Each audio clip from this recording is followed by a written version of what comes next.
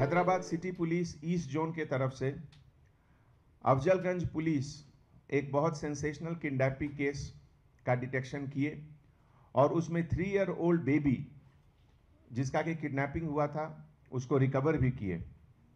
14 नवंबर को कंप्लेनेंट श्रीमती संगति Jayalakshmi wife of संगति रामांजनेलू, जो वॉचमैन का काम करता है, उसके तरफ़ से एक कंप्लेन आया कि जब ये लोग महात्मा गांधी बस स्टैंड अफजलगंज।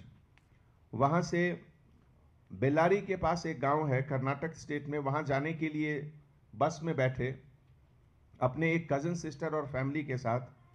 बाद में इन लोगों में कुछ आपस में बातचीत हुई और कुछ लोग नहीं जाना चाहते थे।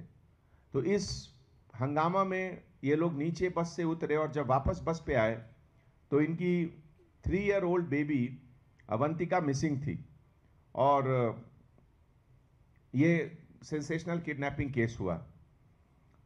423 by 2020 under section 363 Afzalganj police station immediately हमारे एडिशनल डीसीपी मुरली और एसीपी सुल्तान बाज़ार सभी लोगों ने लगभग सेवन टीम्स बनाए और प्रिलिमिनरी क्लूज जो मिला, जिसमें कि रेड कलर की साड़ी और एक ब्लू शर्ट और ब्लैक पैंट पहने हुए एक यंग पर्सन मिलकर ये किडनैपिंग किए थे।